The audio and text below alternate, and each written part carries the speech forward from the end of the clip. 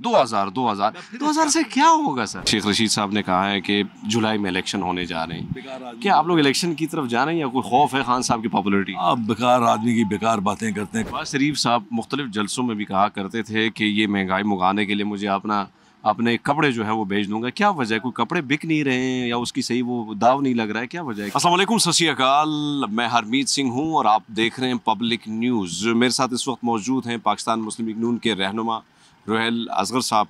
Sir बहुत शुक्रिया sir. महँगाई जो है, आपकी नज़र में आप कैसे देखते हैं सर? आप पार्लियामान में आते हैं, चीज़ों को देखें तो आम आदमी को कोई कोई कोई दर्द है? कोई तकलीफ़ है सर आपके दिल में कि क्या कर रहे हैं आप लोग सर? कोई दो राय नहीं कि महँगाई है। कोई शक नहीं है।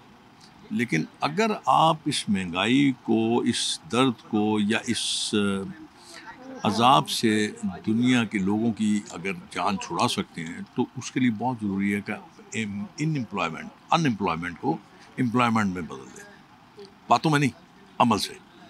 जब आप एम्प्लॉयमेंट आप लोगों को दे देंगे और लोग अपने रोज़गार पे लग जाएँगे तो वो जो महँगाई का आप ज़िक्र कर रहे हैं, वो ज़रा कम महसूस होगी। तो आप, आमदनी होगी ना आपकी। जब आपकी आमदनी होगी तो फिर आपको महँगाई जो है, वो ज़रा महसूस थोड़ी हो शहबाज शरीफ साहब मुख्तलिफ़ जलसों में भी कहा करते थे कि ये महँगाई मुगाने के लिए मुझे अपना अपने कपड़े जो है वो बेच दूँगा। क्या वजह है? कोई कपड़े बिक नहीं रहे हैं या उसकी सही वो दाव नहीं लग रहा है? क्या वजह है कि आप इसको एज ए एक मिसाल ले सकते हैं इसको। इसका उसके साथ मतलब हकीकत में तो ऐसा नहीं होता ना। अब मैं ये कहूँ कि जी मैं अपने कपड़े बेच दूँ और महँगाई ख़त्म हो जाएगी तो ये मुमकिन तो नहीं है ना। कितने के बेच जाएँगे? हज़ार के बिक जाएँगे पाँच सौ के बिक जाएँगे। तो इससे महँगाई ख़त्म नहीं होगी। मेरा जो मानना है वो ये है कि हमें ऐसे इकदाम करने चाहिए जिससे लोगों को रोज़गार मिल जाए। और अगर फ़र्ज़ कीजिए, मैं एक बात कर रहा हूँ, अगर एक घर में दो या तीन अफराद को रोज़गार मिल जाता है तो आपका क्या ख्याल है? महँगाई महसूस होगी उनको?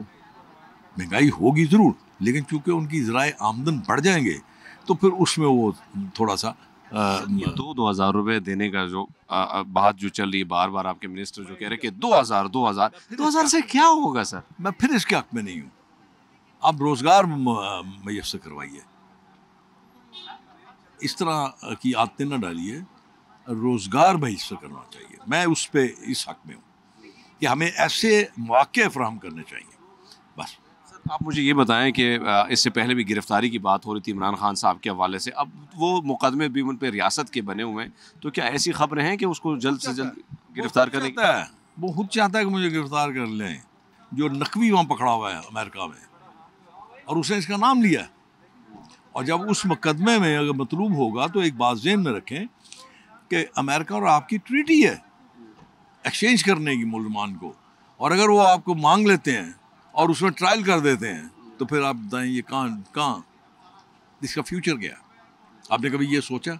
ज़रा इस स्टोरी को ज़रा डिग आउट कर दीजिएगा। सवाल आपसे ही करूँगा। शेख रशीद साहब ने कहा है कि जुलाई में इलेक्शन होने जा रहे हैं। क्या आप लोग इलेक्शन की तरफ़ जा रहे हैं या कोई खौफ है खान साहब की पॉपुलरिटी आप बेकार आदमी की बेकार बातें करते हैं। वज़ीर दाखिला थे यार वो तो बहुत सारे रहेंगे वज़ीर दाखिला। सत्रह मरतबा वज़ीर रहा है।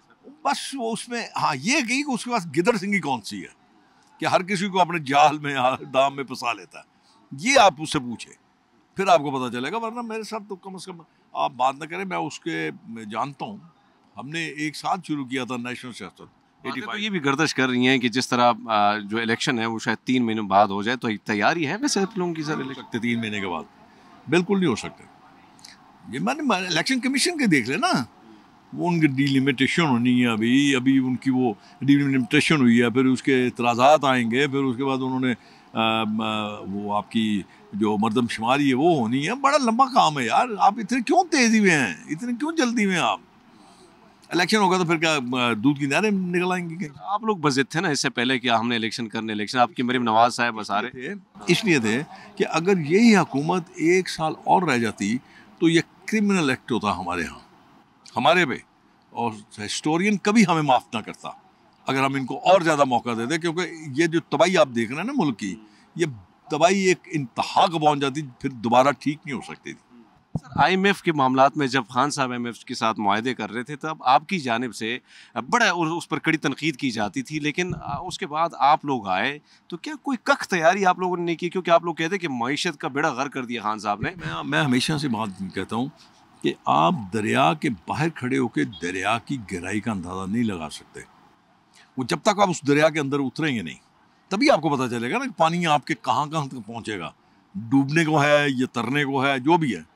तो अब जब ये आए हैं तो आप देखते जाइए थोड़ा सा थोड़ा सा तोक़ कीजिए थोड़ा सा सब्र कीजिए, थोड़ा बर्दाश्त कीजिए।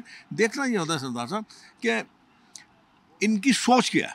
क्या ये चाहते हैं इस मुल्क को ठीक करना चाहते हैं? क्या इस मुल्क के अवाम की हालत ठीक करना चाहते हैं? आपको नज़र आ जाएगा ना एक दो महीने के अंदर अंदर सब पता चल जाएगा। बहुत शुक्रिया, सर, आपका। बहुत